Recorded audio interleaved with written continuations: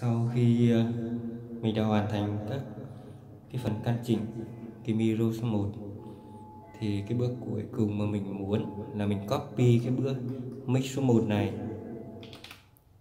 Anh em copy cái mix số 1 này, mục đích cuối cùng là sang mix số 2 sang mix số 3 nếu các bước này giống nhau, thì anh em làm theo cái bước sau. Anh em đang ở phím home thì mình nhấp lên cái phím view.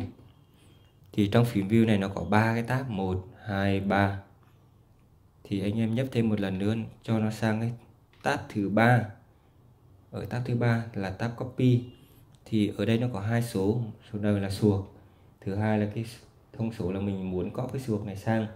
Ở đây mình muốn có mix số 1 đó, thì mình phải chuyển nó về là số 1 mình muốn có có mix số 1 những thông số của mix số 1 ở đây, sang mix số 2 sang mix số 3 thì mình chọn cái xuồng này là số 1 xong đó, mình muốn nó sang cái mic nào thì mình xoay.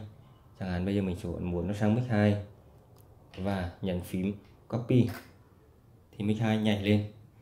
Muốn nó sang mic số 3 xoay cái này, sang số 3 và chuyển xuống copy, nhấn phím enter. Số 3 copy. Thì lúc này số 1 số 2 số 3 nó đã giống nhau tiếp theo mic số 4 đây là cách mà mình muốn copy nhanh.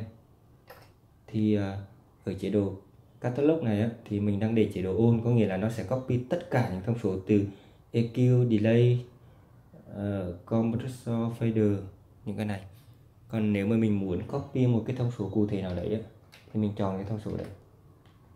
Và mình làm như tương tự như các bước lúc này còn ở đây mình muốn copy on tất cả thì mình chuyển lên trên các cái muốn sang fader số 5 này giống fader 1 cũng làm tương tự. Nhưng anh em lưu ý phải để ý phần gain.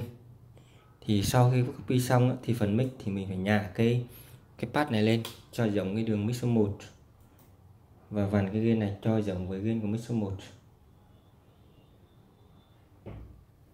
đây, thì bốn cái mic này thông số EQ giống nhau thông số com giống nhau.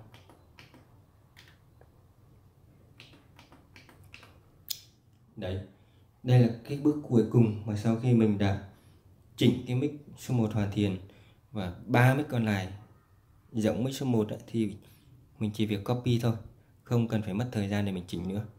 Xin cảm ơn anh em.